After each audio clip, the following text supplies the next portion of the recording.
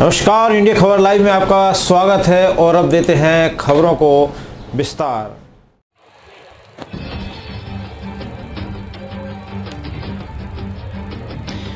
केंद्रीय मंत्री नरेंद्र सिंह तोमर के जन्मदिन को ग्वालियर में अनूठे ढंग से मनाया गया।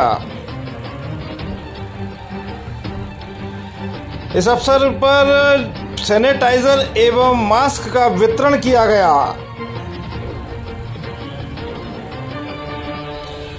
ग्वालियर के चार शहर के नाका क्षेत्र में बीजेपी के युवा मोर्चा के मीडिया प्रभारी विक्रम तोमर के नेतृत्व में यह आयोजन किया गया।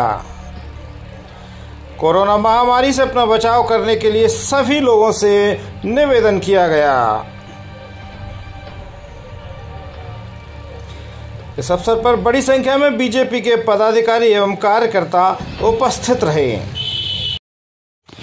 आज केंद्रीय मंत्री नरेंद्र सिंह तोमर का जन्मदिन है।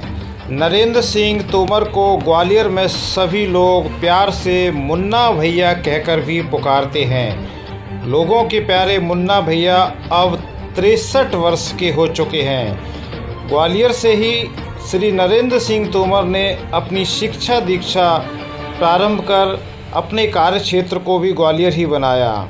वह ग्वालियर के एसएलपी कॉलेज में पढ़े। वहाँ के कॉलेज के छात्र अध्यक्ष चुने गए और फिर सनह सनह राजनीति के सोपान चढ़ते गए।